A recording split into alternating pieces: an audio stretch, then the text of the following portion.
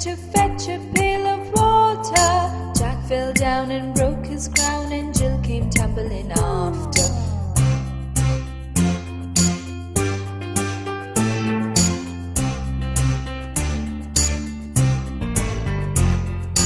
Up Jack got and home did trot as fast as he could keep.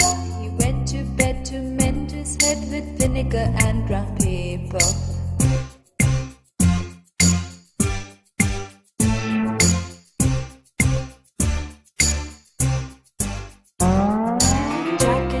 Went up the hill to fetch a pail of water.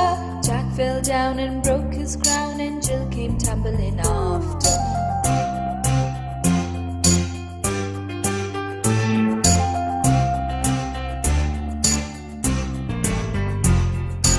Up Jack got and home did trot as fast as he could keep.